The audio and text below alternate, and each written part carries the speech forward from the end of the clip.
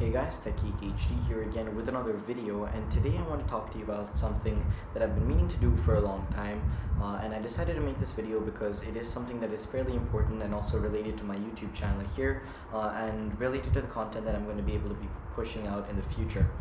Uh, now, as all of you know, uh, as my main device, I do use, or as my main portable cell phone of choice, or smartphone rather, I do use an iPhone 4. Now, I have been part of Apple's ecosystem for a fairly long time now. I did start back in the year 2008, I believe um, where I picked up the second generation iPod Touch. I'm not sure whether it was in 2008 or 2009, the year that the second generation iPod Touch came out.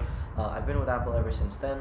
Uh, before that, I was too young for a cell phone, as my parents told me, and I, with my own money, of course, and my allowance, was not able to afford any of Apple's extremely highly priced products uh, at the time. Uh, but I'm 16 now. I make a lot of my money off YouTube and my allowance and selling old things that I don't need online. And so I've been fortunate enough to be able to afford a lot of these products, such as my MacBook Air over there, that which I actually did recently upgrade. That is not the MacBook Air on the video that you guys saw a while back, and I will probably have that video up on the channel soon. Also, I would like to apologize if you guys keep seeing me looking there every once in a while because uh, that's where the screen for my camera is and I like to keep monitoring uh, what I look like on screen. So if I look there occasionally, please do forgive me. So what I was saying was that I've been part of Apple's ecosystem for a fairly long time, uh, but I haven't really used all their services such as iCloud, etc. Uh, really, the main Apple services that I use on a day-to-day -day basis are iMessage and essentially that's about it because a lot of the services that I use on my phone are like Facebook, uh, Twitter, Google Drive, Instagram, Vine, um, and a lot of Google services because I'm fairly well integrated with Google. I don't, of course, use Google Plus because very few people do, and really, it's a social network. Social means interacting with people, and barely anyone that I know in real life is on um, Google Plus. So it is fairly difficult for me to work out and find people on the social network, uh, people that I don't already have on Twitter or Facebook. Uh, so the reason I wanted to make this video guys was to tell you about me switching to Android. Now this is something that I've been wanting to do for a very long time um, because um, a lot of people would tell you if uh, they have iPhones um, and I will probably have an overlay or something on the screen now.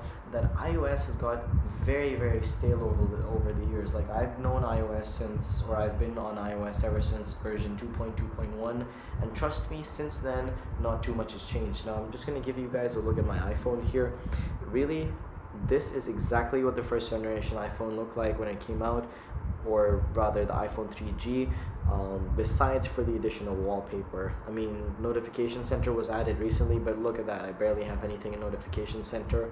Um, and multitasking, yes, of course, but it isn't true multitasking.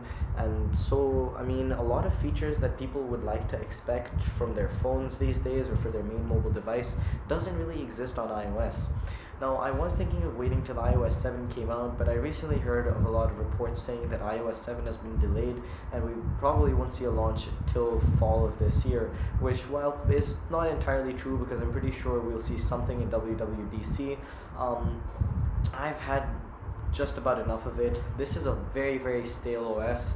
Nothing's changed. I haven't opened the App Store on my phone in easily the last couple of months. I'm pretty sure the last thing I downloaded was just Google. Every time I hear of an update for an app, that's basically all I do. I update the applications I already have. And I don't have that many applications on my phone um, because this is a very old phone.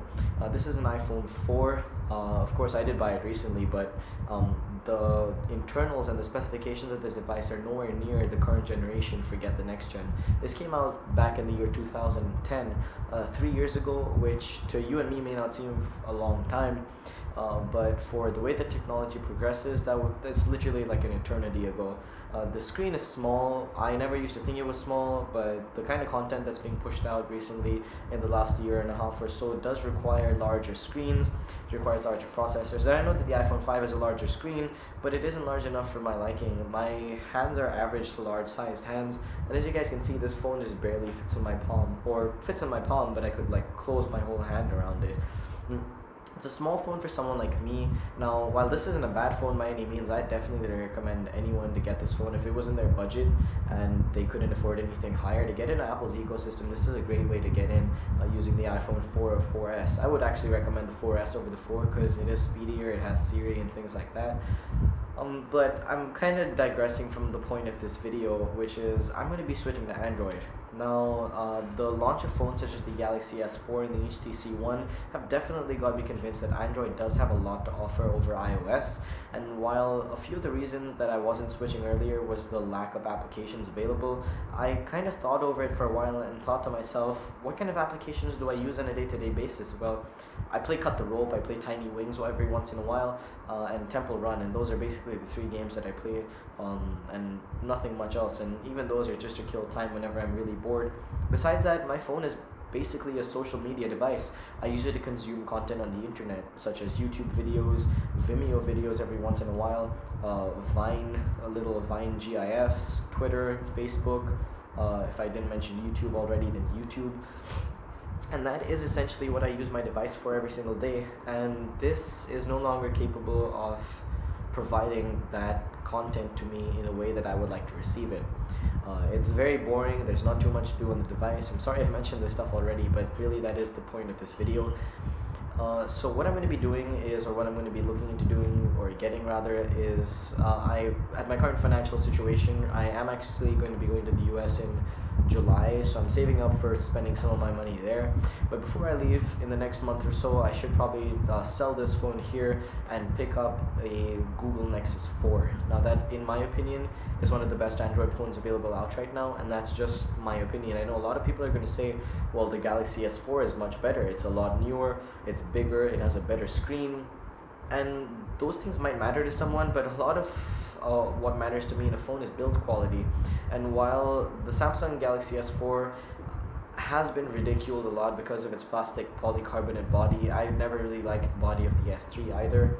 And the HTC One just isn't available where I live. I would definitely go ahead and buy the HTC One. Mm.